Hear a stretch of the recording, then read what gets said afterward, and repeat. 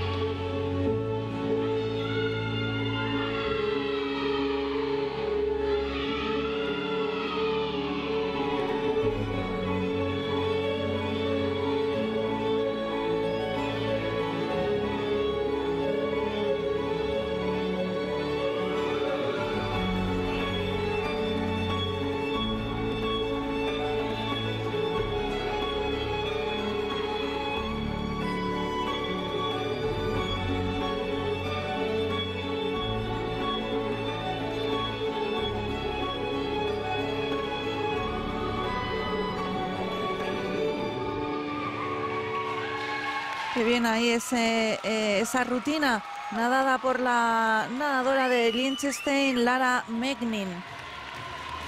Sí, hemos visto que es una nadadora expresiva, es un solo emocional, ha tenido algunas carencias técnicas, aún falta un poco de solidez, pero bueno, ha salido a nadarlo muy bien. Estamos viendo estos días como la prueba de solo es la más diferente a las otras, empezando por los criterios de puntuación, ¿no? que son un poco distintos. Recordamos que en el solo libre la ejecución cuenta un 30%, impresión artística un 40% y dificultad un 30% de la nota total, pero en ejecución, en las pruebas de, de grupo, digamos en dúo, equipo y combo, la mitad eh, de esa puntuación de ejecución es para las habilidades y la otra mitad para la sincronización entre nadadoras. En el caso del solo, es un 90% para la valoración de esas habilidades especiales de la nadadora y solo un 10% la sincronización, en este caso con la música, ¿no?